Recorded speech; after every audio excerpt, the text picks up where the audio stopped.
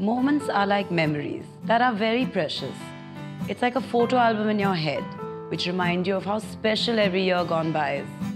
My moments of joy, travel, bonding time with the family, milestones at work.